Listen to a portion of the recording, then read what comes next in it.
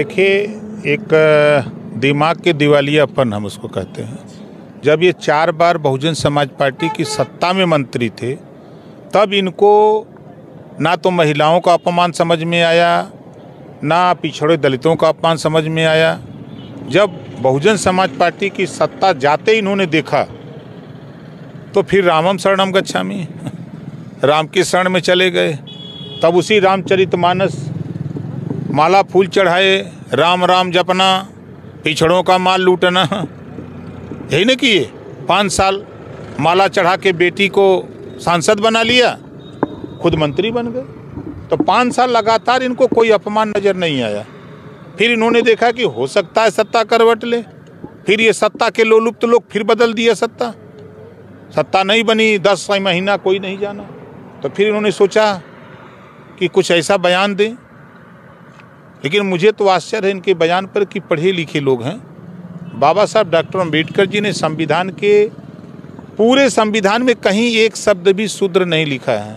चार जाति बनाई है, सामान्य वर्ग, पिछड़ा, अति दलित, अनुसूचित, जनजाति, चार वर्ण है।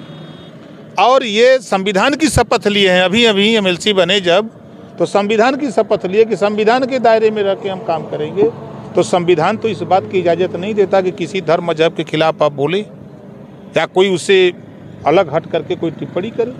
इसका मतलब कि आप संविधान को नहीं मानते हो और संविधान के बदौलत आज एमएलसी बने हो, शपथ लिए हो। तो ये सत्ता के लोलुप्त तो लोग हैं। ये जो लड़ाई है, जो देश में हालात हैं, बेरोजगारी दिनों दिन बढ़ रही है।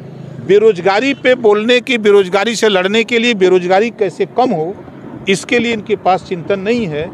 देश में महँगाई कैसे कम हो एक समान अनिवार्य और फ्री शिक्षा। देश, समाज, प्रदेश तभी तरक्की करेगा जब वहाँ शिक्षा हो। तो शिक्षा के सवाल पे जब ये सत्ता में लोग रहते हैं तो कानून बनाने की बात याद नहीं आती है। आज लाखों करोड़ रुपया अमीर जब बैंक से आरबीआई से लोन ले रहा है, नहीं दे पा रहा तो उसके कर्जे माफ़ हो जाते हैं। डिफाल्टर घोषित करके तो जो किसान लोन लिया है, नहीं दे पा रहा है, जो गरीब घरेलू बिजली का बिल नहीं दे पा रहा है, ऐसे लोगों का लड़ाई क्यों नहीं लड़ते कि इनको भी डिफाल्टर घोषित करके इनके कर्जे माफ़ किए जाए? ये समाजवादी पार्टी अखिलेश ये हम तो समाजवाद की परिभाषा पढ़े हैं। राम मनोहर लोहिया जी ने कहा है कि समाजवाद लाना है तो अपने नाम के आगे पीछे जाति हटा दो। यही ना समाजवाद है। और अखिलेश जी क्या हैं? अखिलेश सिंह यादव आधा क्षत्रिय है आधा शूद्र। है उनकी भाषा में यही ना? आधा छत्री है आधा शूद्र हैं। तो पहले तो वो तय करें कि शूद्र वाले गोल में है कि छत्री वाले गोल में है। इतना तो दोनों हैं।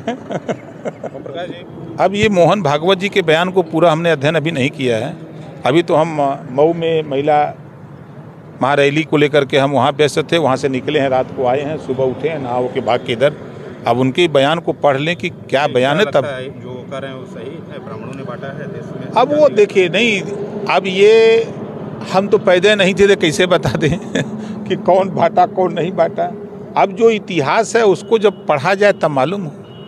नहीं बता रहे तो अगर इस तरीके नहीं देखिए मोहन भागवत जी के बयान पर अब जैसे मोहन भागवत जी ये बात कह रहे हैं कल तक मोहन भागवत जी हिंदू राष्ट्र की बात करते थे। मोहन भागवत जी का बयान अभी हमने देखा कि मुसलमान भी भारत का अभिन्न अंग है। अब उसके प्रति उनका रुख नरम हो गया।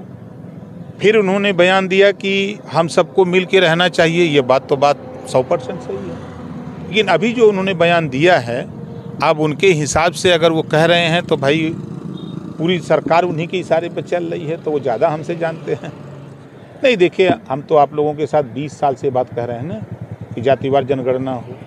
तो ये जब सत्ता में लोग रहते हैं तो क्यों नहीं कराते? सत्ता से बाहर होते हैं तभी बात याद आती है। आप, अगर शायद याद होगा कि समाजवादी पार्टी की सरकार में ही प्रमोशन में आरक्षण खत्म हुआ था।